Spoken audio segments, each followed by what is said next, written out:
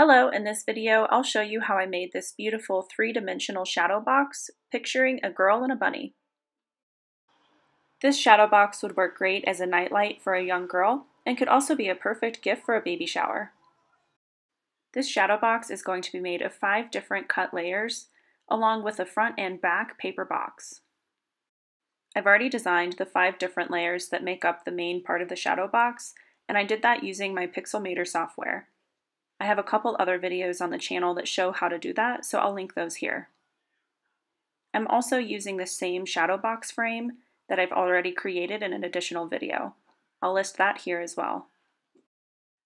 The topmost layer shows daffodils in a meadow with some tree leaves on the top. The layer behind that is going to be a young girl facing a bunny rabbit.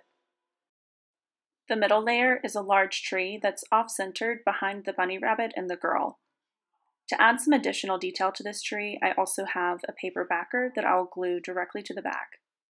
The back two layers are also trees and will really add a lot of depth to the overall shadow box. I'm cutting all seven of these layers with my Cricut machine while using Cricut Design Space. Then I'll assemble them all together and then put them into a wood and glass shadow box that I purchased from Hobby Lobby. I've sized my cut layers to fit inside the wood and glass shadow box that I've purchased but just to make sure everything fits, I like to cut the very back piece of the paper frame first. I select this on the screen of my laptop and then click Continue. Then I make sure that my material is set to Cardstock Plus. I found that this setting works best for these since I'm using an 80 weight cardstock. And then I load the material into the Cricut machine and start the cut. I'm using the blue light grip mat that's compatible with the Cricut machine. I have two of these mats, so I like to load one mat with paper and have it in the machine. While that piece is cutting, I put paper onto my second mat. Then, once the first mat is finished cutting, I remove it and immediately have another mat ready to go. While that second mat is cutting, then I like to remove the cut image from that first mat. I keep alternating the mats back and forth until all seven of the layers are cut. This is five internal layers and then the front and back of the shadow box paper frame. The cardstock is prone to bending, which is why I like to use the light grip mat. If I use the standard grip or a heavier grip mat, sometimes the paper will bend when I'm trying to remove it from the mat. It's really hard to get those creases out. I've also found that one easy way to try and get the paper off the mat is to bend the mat over the edge of my work table rather than trying to pull the paper off. Once all of the layers are cut, I weed out any of the scrap pieces of paper. You can use a weeding tool or an X-Acto knife to do this. There's a couple spots that didn't cut great, which is why I'm using an X-Acto knife in some cases. I try to remove all of the scrap pieces of paper to the back side of the one layer. This way, any frayed edges or rough edges won't show on the very front of the design.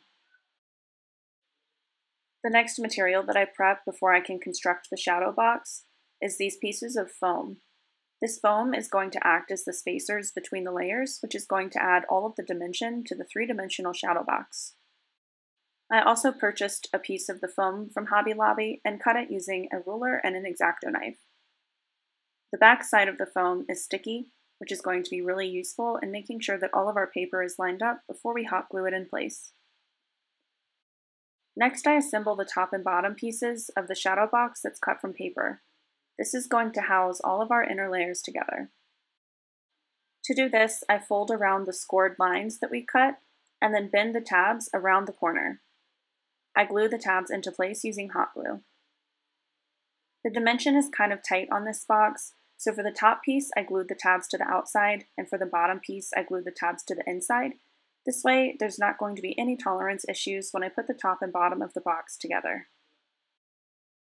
Finally, I check the fit and make sure that the top piece of the paper frame slides easily onto the bottom piece of the paper frame. You want to make sure that it's not a super tight fit because if it's too tight, it can actually cause the cardstock to start to bend. Here you can see that this is a snug fit, but not too tight. Next, I'm going to assemble the five layers that make up the inside of the shadow box. I hot glue four of the foam strips around each of the edges of the first piece of paper. This is the backmost piece of paper. For one of the foam strips, I leave the sticky edge face up. Once I have all four of the foam strips glued down, I remove the paper that's protecting that sticky edge. Then I take the next layer and lay it down perfectly aligned to the layer underneath it. Once it's aligned on all four edges, I press down on the sticky side of the foam strip. This is just sticky enough to hold the paper together while I glue down the other strips, but it's not so sticky that once I pull it off to glue it in place, it's going to bend or rip the cardstock. Here you can see what the first two layers look like once it's fully assembled. This means that all four foam strips are glued to the bottom layer and to the layer on top of it. The middle layer is of the large tree with leaves. To add that extra dimension, I've created a new paper backer that's going to go only behind the branches and not behind the leaves. This is going to look like the tree itself has depth. Before I assemble this to the other two layers that will be behind it, First, I use Elmer's glue to glue down this piece of paper. I like gluing this down with a paintbrush because it gives me a lot more control over the amount of glue to make sure that I don't have any glue that's going to show on the very front of the paper. I'm also taking care not to put any glue on this paper backer where the front of the tree is actually cut out to show dimension of the bark or the roots. I had taped the very bottom of the tree to the cardstock so that I could glue the top. Now that the top is set in place, I remove the tape that's on the bottom and use a very thin line of hot glue to make sure that the bottom is also attached. Again, I'm being careful not to let this show on the front of the tree. Now that this specific layer is assembled, I can continue assembling all five layers together. I follow the same process as before, gluing four foam strips down to each of the edges of the second to back layer. I leave one of the foam strips with the sticky side face up. Then I peel off the paper backing that's protecting that sticky side. I line up the layer with my large tree directly over the two layers that are glued together. And once it's perfectly in line, I press down on that foam strip that has sticky backing. This sticky foam strip is going to keep the top layer in place while I glue down the other three pieces of foam strips. Then I lift the paper off of the piece with the sticky backing and apply a line of hot glue to it as well. I really like utilizing the sticky side of the foam because it allows me more time and chances to reposition that top layer just in case it's not perfectly aligned the first time. Without using a sticky foam strip, I would have to use hot glue, and it's much less friendly to try and fix any of these layers if they've been hot glued together. Again, I keep using the same process of gluing down these foam strips and next layers of paper. Once I reach the very topmost piece of paper, I don't apply any more foam strips. So if I have five pieces of paper, I've only applied four layers of foam strips. Here's what the five layers that make up the shadow box look like once they've been fully assembled. You can see how adding all of those foam strips adds a lot of depth and dimension to the overall image.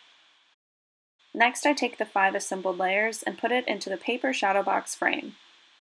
I put the layers into the back piece first, and then I press on the top layer. The fit should be snug, but not so tight that any of the layers are bending. Here you can see that everything has stayed nice and straight. Before I assemble everything into the wood and glass shadow box that I purchased, I hold the paper packet up to a light. Now I'm just checking that the light shines through well and all the dimensions are really clear. To assemble the shadow box, I put the paper packet into the wood and glass frame. First, I make sure that the glass is nice and clean. Once the paper packet is in place, I wrap LED lights around the back of the paper packet. I like using this shadow box frame from Hobby Lobby because it leaves enough room that I can wrap the LED lights without having the paper be squished. The LED lights that I use also have a sticky backing so I use the sticky back to wrap one layer around the actual edge of the shadow box frame, and then I turn the LED lights so that the light faces down into the paper packet. I tape these in place with clear tape. I'll add the LED lights that I purchased in the description below.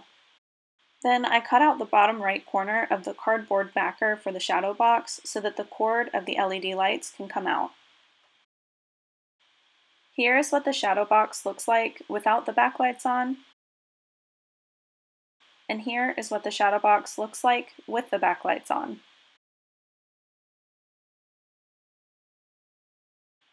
Thanks for watching this video for how I made a shadow box of a bunny and girl in a meadow scene. Let me know if you have any questions in the comments below, and as always, like and subscribe to see more content.